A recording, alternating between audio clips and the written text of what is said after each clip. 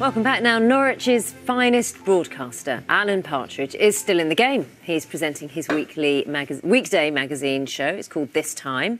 It's returning to our screens for a second series. It is brilliant. And Alan is, of course, played by Steve Coogan, uh, joined by his co presenter Jennie Gresham, played by the actor Susannah Fielding. Let's take a look.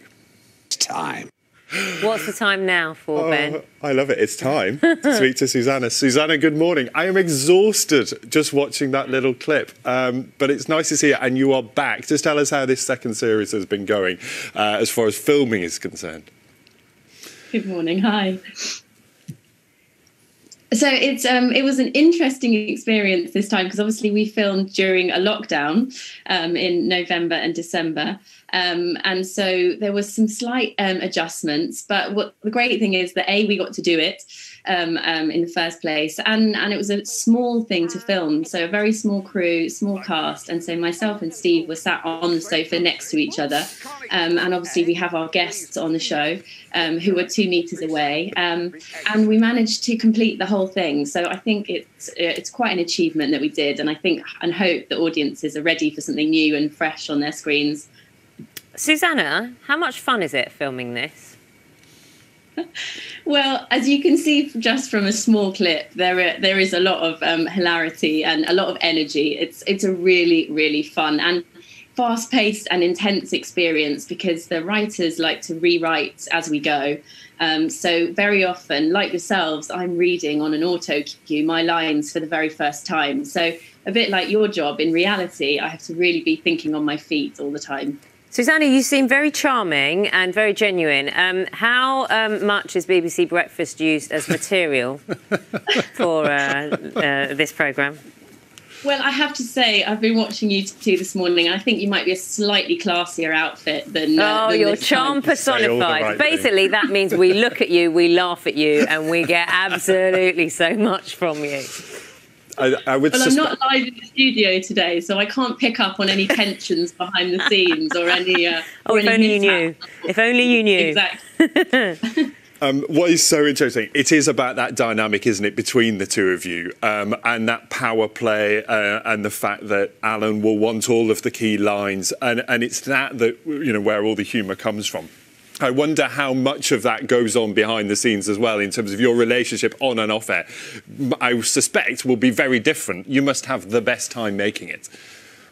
Yeah, it is very different. And actually, even though, you know, Steve is an inc- a slightly easier time of it than Steve, who I think gets a lot of ahas across the street, um, I, I don't have a catchphrase as such.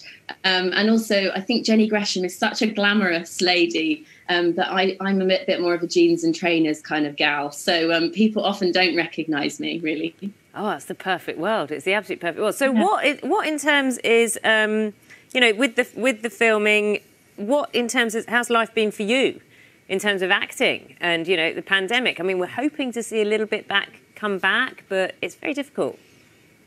Yeah, it's been a really, really challenging time for a lot of people, especially freelancers in creative industries. Um, I've been lucky enough to be able to do bits of voiceover work with a duvet over my head in my wardrobe. And we've all had to really diversify and think outside the box.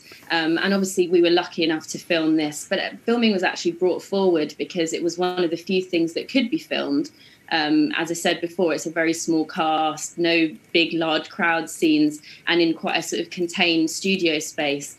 Um, but a lot of things have been put put back, and um, whilst we're starting to see it all kind of wake up again, it's been a really precarious time for everyone. Do you touch on COVID in the show, or is it just pure escapism that it sort of happens in a bubble that you know where COVID doesn't exist? I think I think rightfully and sensibly the writers have um, made it a world where COVID exists, but it's absolutely not the focus of the show. It, it's it's mentioned very briefly, but I think you're absolutely spot on. Everyone is desperate for some escapism and to not be talking and thinking about COVID. So this is what you want to watch if uh, if that's where you're at. Um, you talked about working with Steve. I mean, are you, you'll have seen all the scripts. You know what the gags are, of course, when you're filming. But are you ever surprised by how it actually plays out?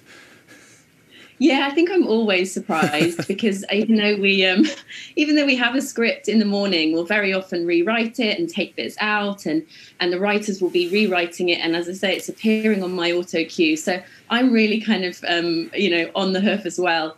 Um, and and also Steve's genius is just something that is always kind of mesmerizing and surprising. And added to that, I'm often obviously sat next to him, so I'm not even looking at what he's doing. So it's only in the edit or even when it ends up on the screen that I think, oh, he was doing that in the, mm-hmm. that moment. Okay. um, are we getting series three?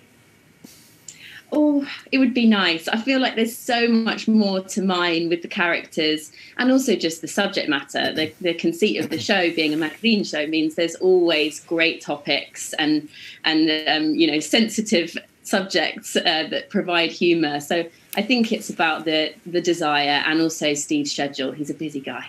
Is it? Has he got the intention of doing a third series? I think we all love doing it so much that, um, and we love the characters. So yeah, I think um, fingers fingers tightly crossed. Excellent. Okay, that's all we needed to know. Thank you so much, Susannah. It was lovely talking to you, Susannah Fielding. There. Series two of This Time with Alan Partridge starts next Friday. It's the 30th of April, 9:30, BBC One. We've been.